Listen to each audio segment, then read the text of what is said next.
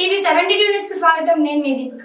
సిద్దిపేట జిల్లా దుబ్బాక మండలం రామక్కపేట గ్రామానికి చెందిన రాష్ట్ర మంత్రి హరీష్ రావు వీరాభిమాని రవికుమార్ తన మిత్రులతో కలిసి శ్రీ సీతారామ ఆంజనేయ ఆలయంలో మంత్రి హరీష్ రావు కరోనా వైరస్ను త్వరగా కోలుకోవాలని ఆలయంలో ప్రత్యేక పూజలు నిర్వహించి పొల్లుదండలు పెట్టి కొబ్బరికాయలు కొట్టి మంత్రి త్వరగా కోలుకోవాలని పూజలు చేశారు.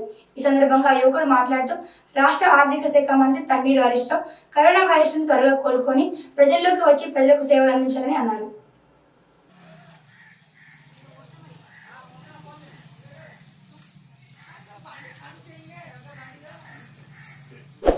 రాష్ట్ర ఆర్థిక మంత్రి తన్నీరు హరీష్ రావు గారు కరోనా బారిన పడ కరోనా బారిన పడడం వల్ల ఈరోజు రామక్కపేట గ్రామంలో వారి అభిమానులమైన మేము శ్రీ సీతారామచంద్ర వారి దేవస్థానంలో ప్రత్యేక పూజలు నిర్వహించడం జరిగింది.